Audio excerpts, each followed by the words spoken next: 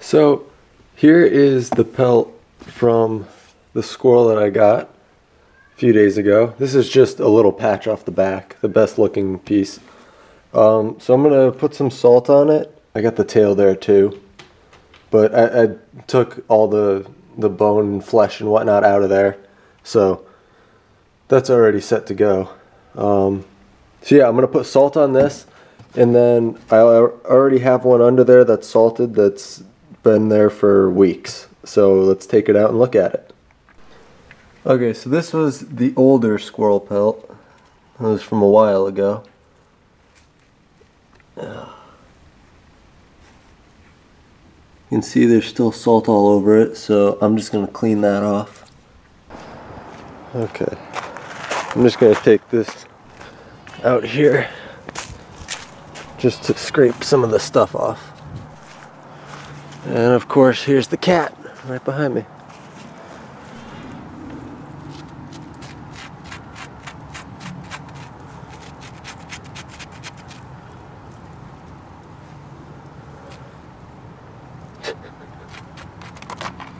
Well, now you can see I got the, the majority of it off, all the bulk stuff. So I'm just going to go inside and with a wet rag just wipe off everything else.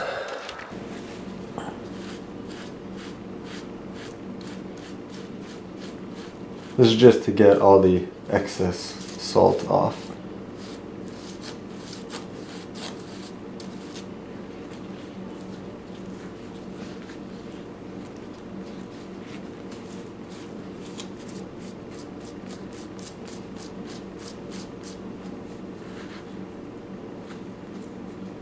you just rub egg on the hide, um, but you got to make sure not to get any on the hair. And then you put a damp paper towel over it and leave it overnight. And then tomorrow I'll wash everything off and we should have a good hide.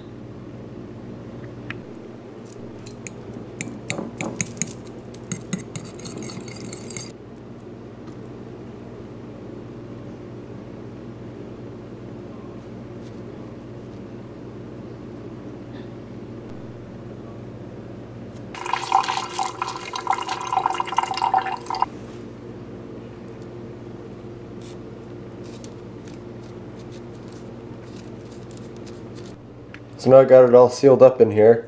Um, I'll check back on this tomorrow.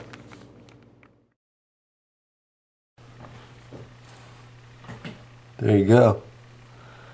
That's what you end up with. It looks like that and then you just gotta rinse it underwater.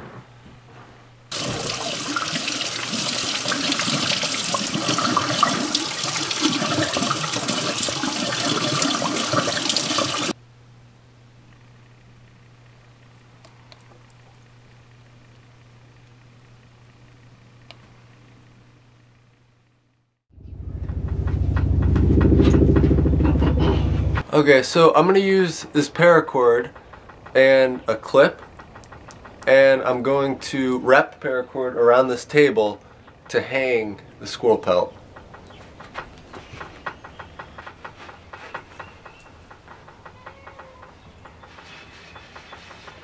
And now I'm just going to clip the squirrel to the paracord.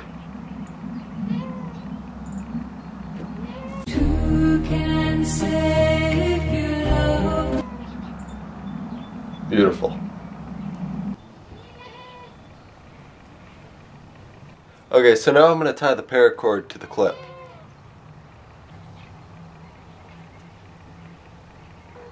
And now just clip the squirrel in there.